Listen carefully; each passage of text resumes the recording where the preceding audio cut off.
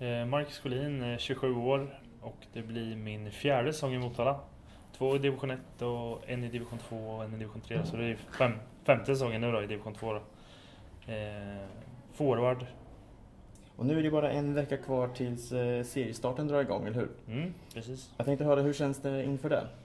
Jo, det känns jätteinspirerande att serien ska dra igång och börja spela poäng igen. Så det är alltid roligt att spela om poängen i det man har saknat. De viktiga seriematcherna.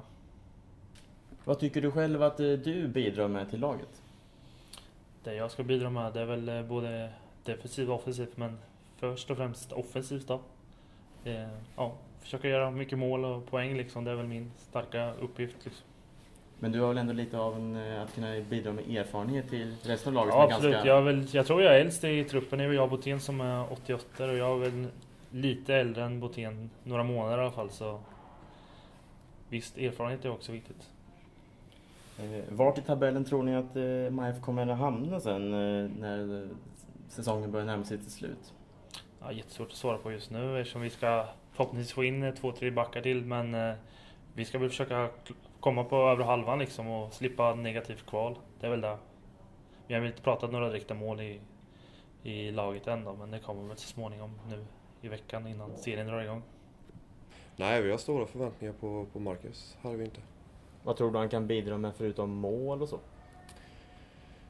Ja, en glädje. En, eh, alltså man, eh, han, han bidrar med sitt spel. Alltså de yngre ser ju och, och liksom lär sig efter honom och går hans, eh, går hans väg. Och man får, vi får ju hoppas liksom att Marcus eh, håller i och liksom är skadefri under hela säsongen här nu. Och, och visar, eh, han är väl inte känd för att hålla låga kanske där nere men eh, han visar tydligt på isen vart han vill och, och vad han gör. Så det, nej, det är bra.